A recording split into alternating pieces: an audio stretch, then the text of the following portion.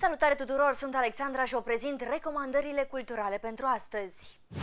De la ora 19, la Teatrul Bulandra, în sala Toma Caragiu, se pune în scenă piesa Conversație după înmormântare. Aceasta este o poveste simplă despre șase oameni care se întâlnesc după o înmormântare undeva într-o casă de la țară și discută la marginea absurdului. O mie de lucruri ies la iveală, se dezvăluie taine mai mari sau mai mici, drame de familie, întâmplări nespuse într-un tăvălug al conversației, foarte bine condus de scriitoare, așa încât să nu rămână prea multe ascunzișuri.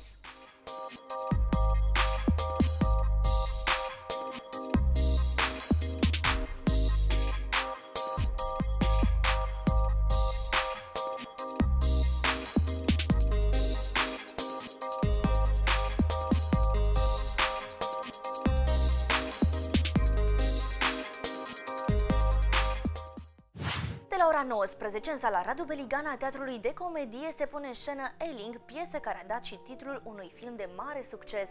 Simplu, fără exagerare verbală, fără încărcătură excesivă a spațiului de joc, într-o interpretare proeminentă, spectacolul regizat de Vlad Masaci înduioșează orice public. Deși cele două personaje sunt doi tineri nebuni care s-au cunoscut și au devenit foarte apropiați într-un spital de psihiatrie, acum, încercându-se integrarea lor în societate printr-un program special, ei apar mai mult cu sufletul bolnav și nu cu mintea.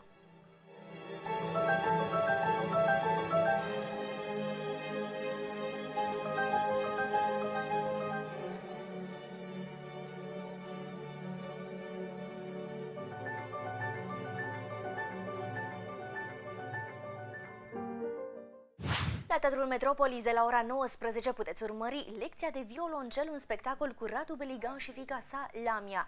După 20 de ani de căsnicie, Eva trăiește suspiciunea că soțul ei îi este infidel. Rănită profund în orgoliu, participă la un casting unde obține un rol într-un film american, dar pentru interpretarea lui, ea trebuie să învețe să cânte la violoncel în doar 3 luni. În felul acesta îl cunoaște pe tânărul profesor Radu Manoliu, de care se îndrăgostește și, fără scrupule, îl seduce, fără să se gândească la consecințele ce nu vor întârzia să apară. Nu, nu, chiar vă rog să continui.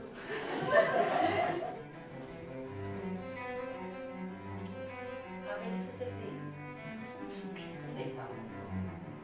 Ce fac? Care fac, Gabi? Acestea au fost recomandările culturale. Rămâneți cu Iolo pentru alte informații dedicate timpului liber. Sunt Alexandra și vă doresc distracție plăcută. Thank you.